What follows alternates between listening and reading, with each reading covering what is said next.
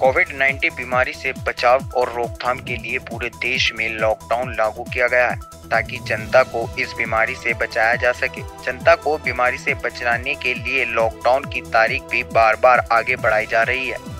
लेकिन लॉकडाउन के चलते मेरठ में कोरोना मरीजों का आंकड़ा लगातार बढ़ता जा रहा है। जिसको लेकर स्वास्थ्य विभाग और प्रशासन भी काफ़ी परेशान है। प्रशासन लोगों से बार बार यही अपील कर रहा है कि लॉकडाउन का पालन करें, घर से बाहर ना निकले।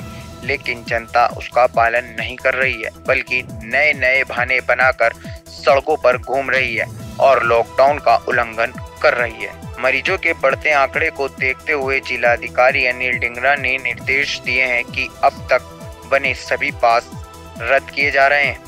और लॉकडाउन का पालन अब लोगों से सख्ती से कराया जाएगा, जिसके बाद आज सुबह से ही पुलिस प्रशासन लोगों पर सख्ती कर रहा है। सड़कों पर घूमने वाले सभी लोगों से पूछताछ की जा रही है कि वह कहाँ से आया है और कहाँ जा रहा है, और बेवजह घूमने वालों के चलान किए जा रहे हैं, जिसमें पुलिस कर्मियों की ओर से चलान करने पर कुछ लोगों की पुलिस कर्मियों से नोकझोंक भी हुई।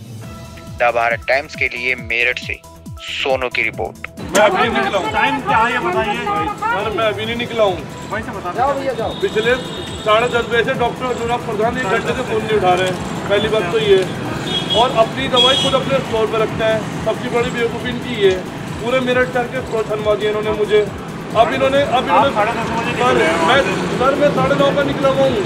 जसवंत राय से लेके और पूरा बात कीजिए ना इससे बात फ़ोन अब उठाया। कल ही बात करते तो